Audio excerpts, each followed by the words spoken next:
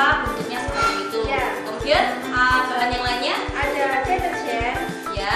ada grajen, eh, Ya.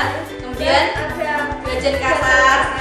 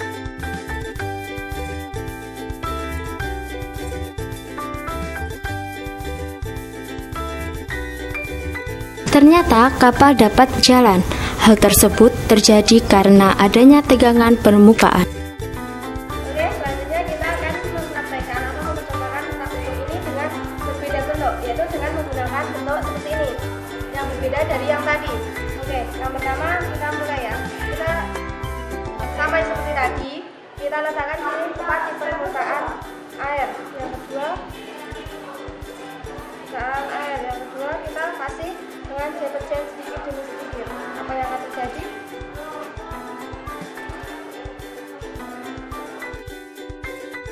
Ternyata kapal yang berbentuk kedua juga dapat berjalan seperti yang pertama.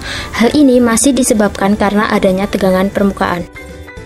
Selanjutnya kita akan menggunakan eh, styrofoam yang bentuk yang ketiga yaitu seperti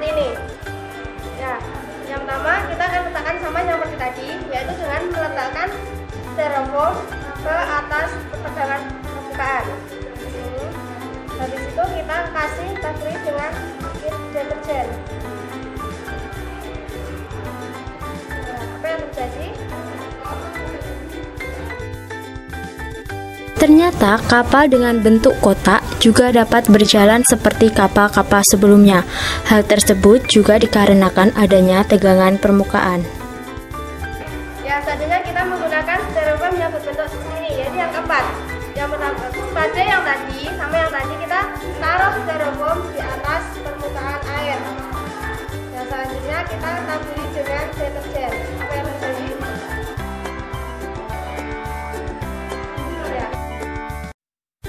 Ternyata kapal yang berbentuk kotak tanpa rongga atau lubang juga dapat berjalan seperti sebelumnya.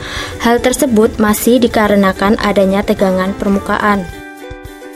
Ya, selanjutnya kita akan menggunakan tidak menggunakan deterjen, yaitu menggunakan dengan serbuk eh, gergaji seperti ini. Ya, selanjutnya sama yang percobaan yang tadi. Kita taruh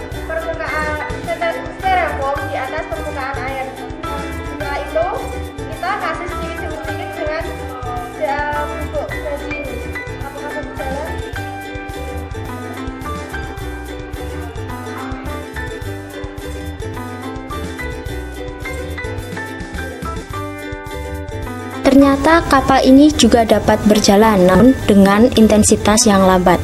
Hal tersebut dikarenakan bubuk gergaji tersebut memiliki partikel yang dapat memecah lapisan air namun intensitasnya sangat kecil.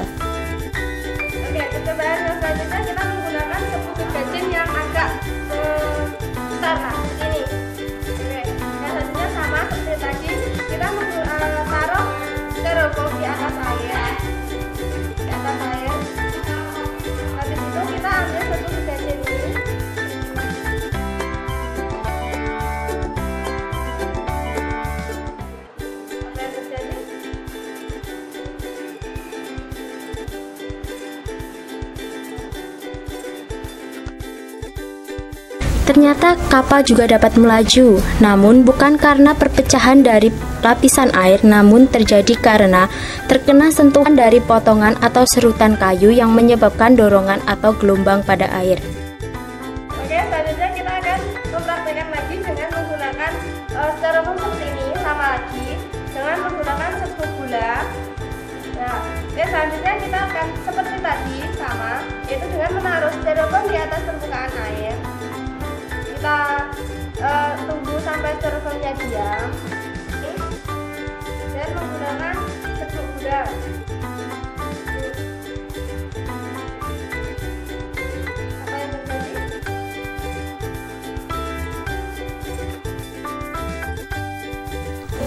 Ternyata kapal tidak dapat bergerak atau kapal tersebut diam.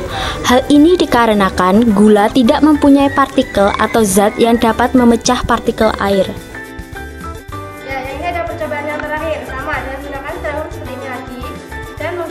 Bubuk garam.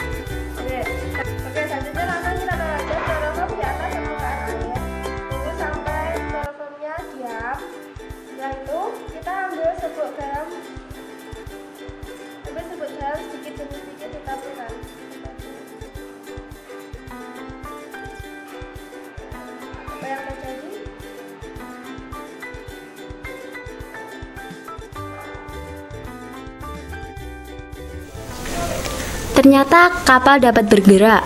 Hal ini dikarenakan garam mempunyai partikel atau zat yang dapat memecah partikel air. Namun, intensitasnya juga rendah seperti serbuk gergaji tadi. Jadi gimana nih kesimpulan dari praktikum kita tentang tegangan permukaan? Nah, ternyata dari praktikum yang telah kita lakukan, kita dapat menarik kesimpulan bahwa serbuk dari deterjen itu dapat menggerakkan kapal dikarenakan dia mempunyai zat surfaktan, yaitu surfaktan hidroponik. Dia itu dapat memecah dari air itu sendiri. Lapisan airnya itu dapat dipecah karena adanya zat tersebut. Nah, pada serbuk gergaji ternyata juga dapat berjalan. Hal tersebut dapat diketahui karena serbuk gergaji mempunyai partikel yang dapat juga memecahkan lapisan sedangkan dalam e, gula, larutan gula dan juga potongan dari gergaji tersebut yang sedikit besar tadi itu tidak bisa berjalan. Nah, karena dia tidak dapat memecahkan dari lapisan air tersebut. Nah, sedangkan dari garam itu ternyata juga bisa berjalan. Jadi e, garam mempunyai partikel yang dapat memecahkan lapisan air tersebut. Gimana dengan gula? Gula tidak bisa, tadi Tidak Nah, kalau untuk dari segi e, bentuk dari kapal itu sendiri ternyata tidak e, tidak Mempengaruhi. Tidak mempengaruhi, tidak ternyata tidak mempengaruhi dari e, laju dari kapal itu sendiri. Jadi dengan bentuk apa pun kita dapat melaksanakan praktik Oh, berarti eh, bentuk kapal yang kemarin kita praktekkan kepada teman-teman itu hanya mempermudah proses praktikum saja. Ya, seperti itu. Gimana teman-teman semua tentang tegangan permukaan sudah jelas kan? Eh, sekian dari kelompok kami, semoga bermanfaat untuk teman-teman. Wassalamualaikum warahmatullahi wabarakatuh. Bye.